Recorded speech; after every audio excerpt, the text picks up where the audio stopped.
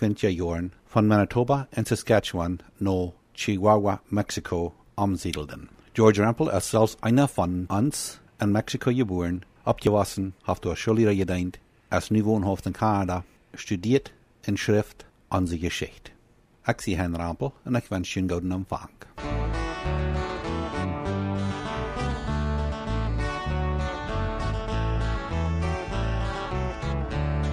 De eerste vrouw nu is habe ich uitgevangen auf der Hälfte von 12 Amazas ist, oder auf dort auch mal 7 sein kann. Wir sehen letztes Mal, dass wir uns von der wieder vertalen wollen von unseren Eltern und Großeltern ihrem Segen auf Freiheiten in Siedlungsland und andere Länder. Als um Johann Peiwal und um Peter Klassen von Heeg über dem zurückgekommen wären von Mexiko, gerade als die Leiders reit wären, dort noch Quebec tragen auch abzugeben, dann wird am Lothorst am 7. November in Rheinland, Manitoba, noch weiter eine Bruderschaft aufgeholt. Zu dieser Bruderschaft werden auch alle Männer von der Hague-Kolonie und von der Swift-Current-Kolonie in Saskatchewan eingeladen worden. Ab dieser Bruderschaft wird erst von dem Problem mit dem Plan nach Mississippi zu tragen geredet und der Haft muss abgegeben werden. Und dann wird von dem Plan nach Quebec zu tragen geredet und woran die vielleicht auch wird müssen abgegeben worden. Und dann sind die Brüder bereit, sich anzuhören, was um Johann Peiwal von dem Angebot nach Mexiko zu tragen zu sein hat. Als die Brüder am angehört haben, dann wird an dort klar, dass der mexikanische Präsident der urkolonischen Mennoniten in Kanada wirklich anloden wird, nach Mexiko zu tragen. Aus dieser Einladung gut Deiche worden is, dann sind die Breiter wellig, dort angebot nach Mexiko zu tragen, Geneva und je Segen zu laden. Und dann wird beschlossen, dort im Januar 1921 eine Delegation nach Mexiko geschickt worden soll, um dort noch passende Siedlungsmöglichkeiten zu sehen und dem Landespräsident Alvaro Obregón selbst zu ob er willig ist, den Mennoniten ihre Schulfreiheiten, Glaubensfreiheiten und Militärfreiheiten zu geben, wann sie sich einig waren oder wann sie sich entscheiden waren, nach Mexiko zu tragen. Von den Manitoba gemeint waren um Julius Leiben, Cornelius Rampel und Klaas Heide gewählt, für die Hague gemeint waren um Johann Lepke und Vorsteher Benjamin Götzen gewählt und für die Swift-Current-Kolonie oder gemeint wird David Rampel gewählt. Krieg, wo viel um Johann Peiwal wisst, oder verstund von dem mexikanischen Präsident Alvaro Obregón seinen Plan, sich am mennonitische Form zu beworben, dort ist vielleicht nicht ganz klar. Aber nur mexikanische Berichte nur, dann ist dort Wirklichkeit, dort Alvaro Obregón gut verstund, vor was Pancho Villa und seine Revolutionssoldaten so lang und so schwer gekämpft haben in ihrem Bürgerkrieg. Die haben dafür gekämpft, dass die Regierung dort Land in Mexiko gerechter verteilen soll. Denn der Präsident wisst gut arm, dass 5% von den Menschen in seinem Land 95% vom Land eigenden und dass die anderen 95% von Menschen alle topmal 5% vom Land eigenden. Und er wisst auch gut arm, dass viele von diesen Armen Frederike am Land verfehlte Biljetlohn arbeiten mussten, um ihr Leben zu verdienen. Und dort viele andere Arme im Land überhaupt keine Arbeit haben. Und nu hat der Präsident Alvaro Obregón, um endlich den Bürgerkrieg oder die Revolution in Mexiko zum Ende zu bringen, dem Pancho Villa und seine Revolutionssoldaten versprochen, dass er ein neues Gesetz einführen wird, was dort möglich machen wird für arm, die arme Formarbeiter en de andere arme lieden am Land wordt voor de rijke grootgrond eigendommer ihr Land toeterdelen. Zodat ze kunnen kleinvormer worden en er steht noch immer länger vermeist nicht für de rijke grootgrondbezitter schwer zu arbeiten oder überhaupt keine Arbeit zu haben. Krieg wo dort nie gesagt, die arme Menschen am Land von de Grootgrond-Eigentümer ihr Land toedelen will, davon vertalen wir nur her vielleicht noch mal mehr.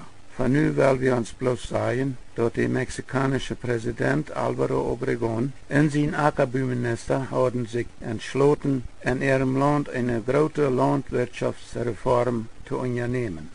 Duizenden Kleinfarmer wollen sie dort versuchen, möglich zu machen, dass das Land in Mexiko mehr produzieren kann, als die Großgrundeigentümer damit produzieren. In diese beiden Männer, der Präsident und sein Ackerbauminister, wussten dort auch, dass sie sich um ihre Landwirtschaftsreform durchzuführen zu können, erfahrene Farmer in ihr Land haben mussten, sodass die an damit helfen können. Van Gouda uit dem Uitland gekommene Forma sollen er ihre Klinforma aufseinen und lehren, wo man Form Arbeit driven muss. Sie bemeiden sich sehr daran, gute Forma in so einer Länder aus Deutschland, nur Mexiko zu tabern. Gerade so Russland dort in den 17. Tagen Jahren gedohnt hat, aus an Forma fehlten in Süd-Russland. Und gerade so Kanada in de 1870 Jahren jar joren gedon hout aus arn go to forma fielden tom ere groote preeri landshaft am to rondland to produzieren det akarsland sie westen dort ok dort kreit in de 1920 jaren mennonitische form ma Families uit russland er u to kommen versocht in sie horden dort an ihrem plon versegen tiendüsen von de russlandische meneniten no mexiko to tabern taberen. Davon Lothar auch noch mal mehr. Und sie versuchten auch so viel mennonitische Forma-Families aus Kanada und Mexiko zu kriegen als möglich.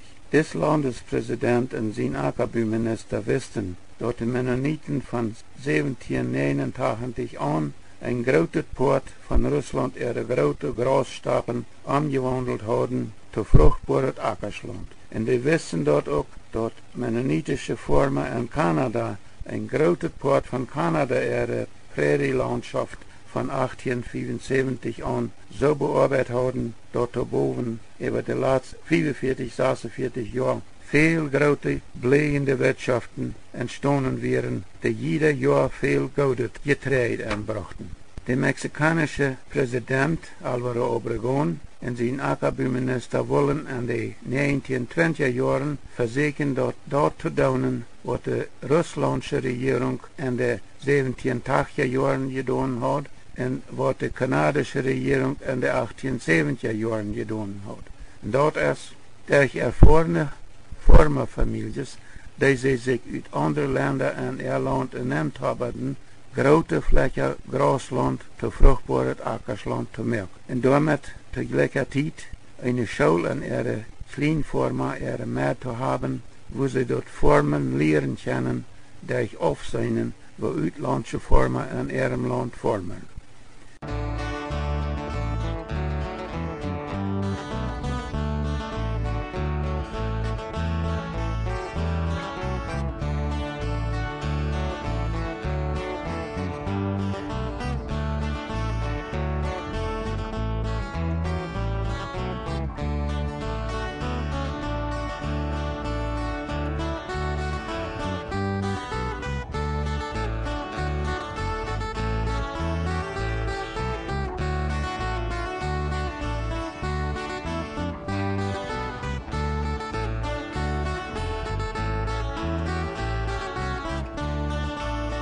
En nu war dat trek naar de Old-Kolonia era eerste delegatie die am januar 1921 naar Mexiko geschickt worden is, om sich door naar passende Siedlungsland rond te kijken en bij de Mexikanische regering gewenste Religionsvrijheden uit te arbeiden, wanneer het mogelijk is. Dat heißt, sie sind geschickt in Mexiko zo'n Religionsvrijheden uit te arbeiden, als de Kanadische Regierung ihre er anderen 1873 sozusagen für immer zugesichert hat, die die provinziale Regierungen von Manitoba und Saskatchewan an überall nur weniger als 50 Jahre durch ihre nie englische Schuldzwangsgesetze wahrgenommen haben. Von hier an will ich, wie man die Geschichte vertalen, ein bisschen mehr Einzelheiten. Ich glaube, wir sind wir damit all so viel dichter bei gekommen, er angekommen, dort der meiste von uns all wahrlichen Bett am Stempel ja hier in Wellen, kreigt wort onze Älteren und Grotälteren beleefden, während sie nur Freiheiten in nur passende Siedlungsland auf verschiedene Städten segen loten.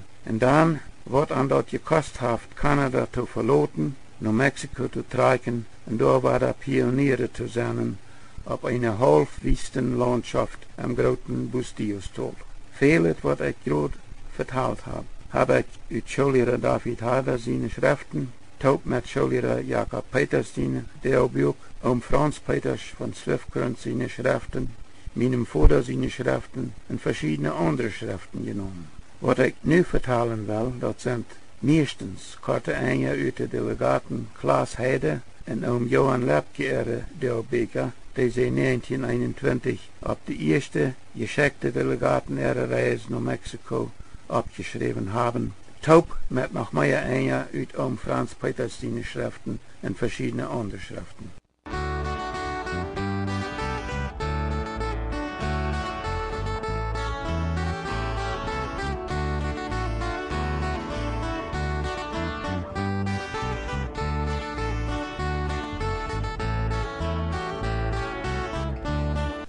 De Oldkolonie ihre erste New Mexico geschickte Delegation, Klaas Heide, Cornelius Rampel und Julius Leuven von Manitoba, Vorsteher Benjamin Gertzen und Johann Lapke von Hague, Saskatchewan, und David Rampel von Swiftcurrent, Saskatchewan, fuhren 1921 Dienstag am 24. Januar, Feier 44 pm met dem Zug von Winnipeg, Manitoba auf und kommen Freitag am 28. in El Paso, Texas an. In El Paso, Texas lehren die Delegaten, was er Beroda und Dolmetscher J.F. Wieb von Saskatchewan und Daniel Salas Lopez, den die mexikanische Regierung an Bad El Paso, Texas entgegen geschickt hat, um er Dolmetscher sein, auch in El Paso angekommen sind. Lopez redet gut Spanisch und auch gut Englisch. Und er sagt, die kanadische Delegation fuhrt am Anfang, dort der mexikanische Präsident sich gotthaft informieren lassen, wer die oldkolonischen Mennoniten in Kanada sind, und dort sie ihren Kriegsuniformen Familien in Mexiko haben wollen, als sie sind. Und dann versichert Lopez die Delegaten, dort sie in Mexico City von ihrem Präsident alles kriegen wollen, was sie wünschen. Dienstag am 1. Februar 37 am fuhren die Delegaten mit dem Zug auf nach Tucson, Arizona, wo sie um 5.54 pm ankommen. Hier in Tucson lernen sie bald noch ein Mann mit dem Namen Enloff ankommt, ein Landagent, der an in die westlichen Staaten in Mexiko, in Sonora, in Sinaloa und in Nayarit Ländereien wiesen will. Des Mann kommt Medweg am 2. Februar klokken zu morgens an en am 31 pm fuhren alle negen mannen met twee auto's auf naar de grensstad Nogales, wo sie am 3.40 pm ankommen. Donnerdag am 3. Februar fuhren alle negen mannen bei Nogales über die Grenz in Mexiko nähen. Durchstehen sie waren in einen Zug und fuhren an den Tag noch Bad Guaymas, Sonora. Freitag am 4. Februar vorende Semana met Ateljemana van Guaymas Taub een groot vlek land bezijnen. Als ze dat land en Sonora bezijnen hebben en zich über den Regenfall en de gegenden befragt haben, dann sind die kanadische Delegaten sich kurz einig, dass auf diesem Land viel zu wenig Gras wächst und dass da viel zu wenig Regenfall ist. Am Klock 37 pm fuhren sie von Guaymas Sonora auf nach Culiacan, Sinaloa.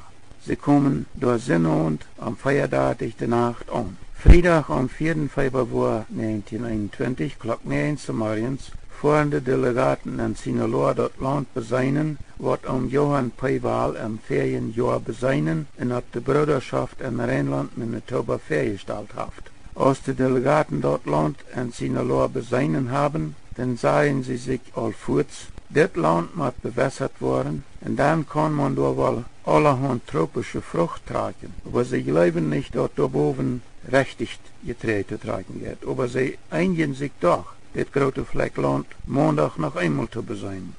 Sonntag am 6. Februar wurde Delegaten der Tiet lang mang dem großen Gelev von Trompeten und Knallpoggen, so sagt Franz Peter Stott, Firecrackers, und Kuliakan. Sie loten sich im westlichen Sinaloa ramfieren und seinen mit onja auch Weitflecken, aber mit viel schwarzen Brand, die nicht geschmacklich loten.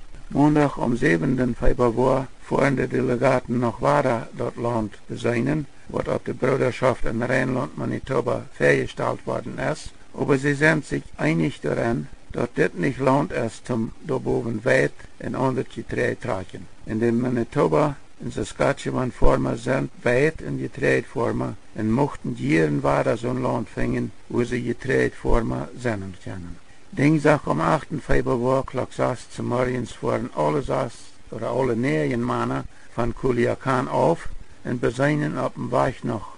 Nur Masatlan noch mehr Länderien. Die Erd sieht an abstehen nur gode Erd, aber alle Wehen warst viel zu wenig groß und alle Wehen es viel zu wenig rehenvoll. Klok 2 Uhr Mittag kommen sie am Masatlan Sinaloa an und nehmen dort Hotelstuben. Van Mazatlan willen de delegaten en ihre Vierers mit dem Zug wiederfahren. Aber will der Zug um Nähenden nicht fort, müssen sie in Mazatlan noch einen Tag bleiben. Zum Tietverdrief besinnen sie sich durch so ein Beet den Hoven und de Boy umher. Donnerdag om 10 februar fuhren de delegaten in ihre Vierers klok 8 morgens van Mazatlan auf, kommen in Tuxtla Nayarit klok 9 zu ovens aan en nemen door stoven am besten Hotel wat ze vingen können. Aber dit Hotel ist von alle Seiten so meist ganz op. Sie eten so meist unter freiem Himmel und so meist ohne Licht.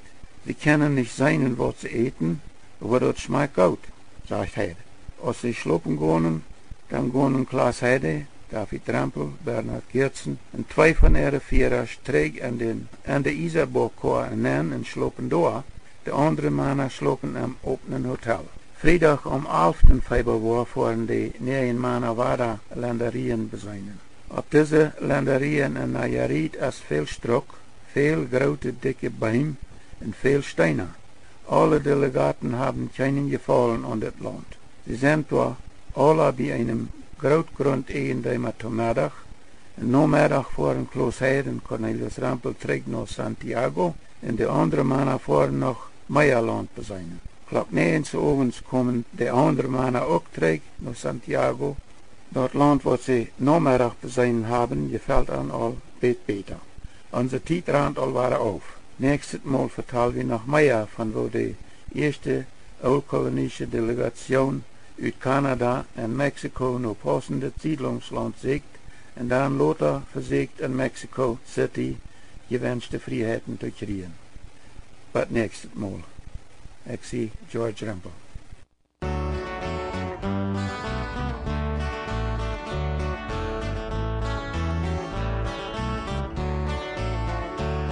Als de helft van twaalf Amazas oder kan het ook mal zeven zijn. Na, wann wir uns der römische Sohlen abschrieben, mit einer X und zwei Ien dahinter, dort jaft 12. Wenn wir dort nu eine mehr abschneiden, dann jaft dort eine V und zwei Einten. Dort erst dann 7.